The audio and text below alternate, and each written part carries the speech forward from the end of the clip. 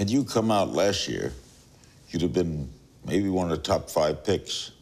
You waited extra year, play that senior year at USC, and go in what the fourth round. That's right.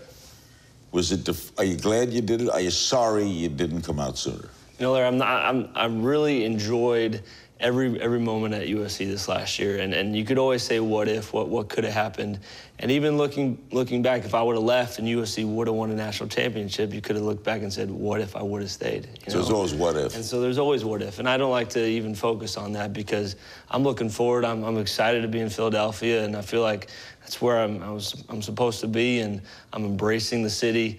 Uh, it's a great football town, and so uh, Are you ready matter. though for Yeah. the Philly fan? I think I am. I, I think I it am. ain't and the Southern Cal. it's not, Laid it's back not LA. is here. It's not LA. And It I've ain't. gotten a, quick glimpse um, from, from the fans just being in the in the city for a, for a couple of days uh, with the OTAs and mini camps that they've had. Um, but I don't I don't think I've seen the full force yet of, of the Eagles fans. I was telling some friends earlier that uh, uh, Richie Allen, a great third baseman for the Phillies years ago, was asked about the fans and said they would boo a cure for cancer.